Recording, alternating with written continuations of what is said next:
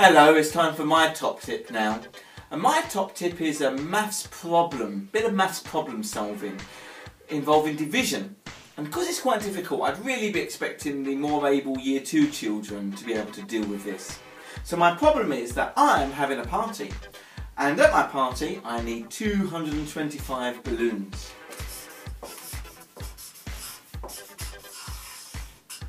But the balloons come in packets of 25. So the problem is, how many packets of 25 balloons do I need to get to 225? I'm going to show you two ways of working that out.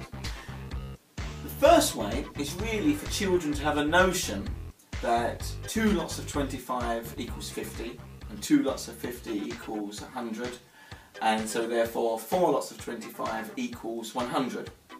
And I've kind of get the children to work it out like this, so let me show you. So I go, there's two lots of 25, that's 50, that's two packets.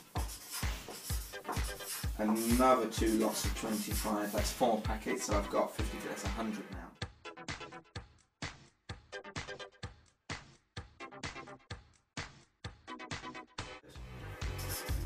and there's my final remaining packet. So that's one packet, two packets, three packets, four packets, five packets, six packets, seven packets, eight packets, nine packets. Yeah, can you see how I've worked that out? Yeah. So a less advanced way of doing this would be for the children to play around with 25s. And I'd get them to work out 25 like this. Keep on going until they get to 225. So 10, 20, 30, 40, 50, 60, 70, 75. Mm, I'm not there yet.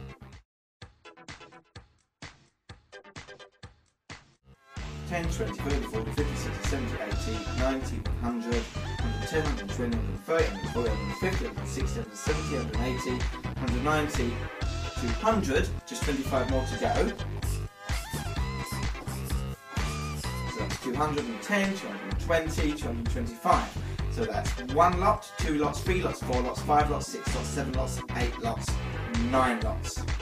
So I've showed you two ways there.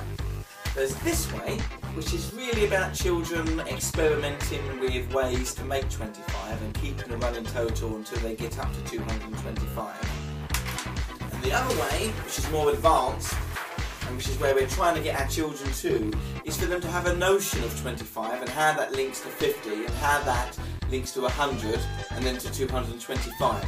And of course these principles don't only apply to 25s and 225 and on our school website we've got other examples of maths problems involving division, some involving multiplication too, that you might want to um, practice with your children.